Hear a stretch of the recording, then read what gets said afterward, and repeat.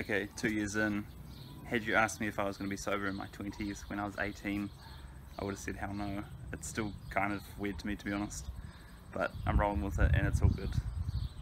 I was at an event a couple of nights ago for New Year's and um, hanging out with some people that were drinking and I was pretty much the only one apart from one other person that wasn't drinking and that just really reaffirmed my decision in not drinking alcohol basically and it's not to try and say that I'm better than them because I don't. It's just that it wasn't really my scene staying up late and just kind of like you know whatever and it's not really my gig anymore basically. And then the day after yesterday I was with uh, a whole bunch of people that were like sharing food and you know sharing sharing everything basically. And um, it's just completely different very polarizing. And that was more of my kind of happy place. So I was much more at home basically with um, people that yeah they weren't drinking and yeah.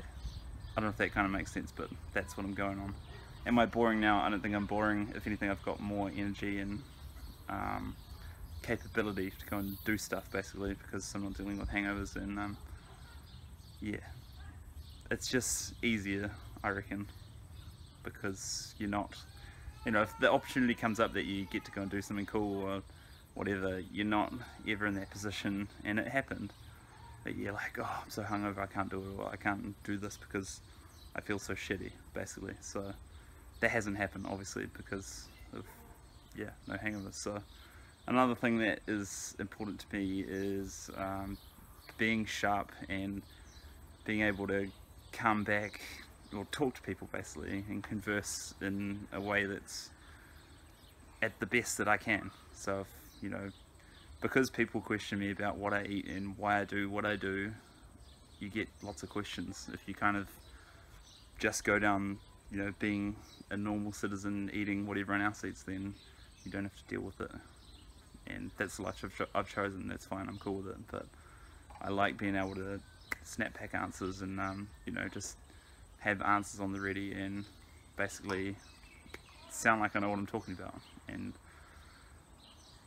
being you know cloudy or being wasted or having a few drinks and um, you know perhaps finding yourself in the situation it would be different basically because you know you might just think oh I'm just gonna have a say something smart ass back to the person or whatever and then they might take it the wrong way and that kind of thing and that's not really what I'm after so by being sober it eliminates any of that kind of problem so life's good and it's not going to change will I make a video in a year's time three years sober I don't know if I'll make a video but it's probably going to be three years sober and um, I'm happy with my decision two years ago it was my decision uh, just to end it basically on New Year's and people say that resolutions are shit and they don't work and stuff. Um, it's all dependent on the individual in my opinion.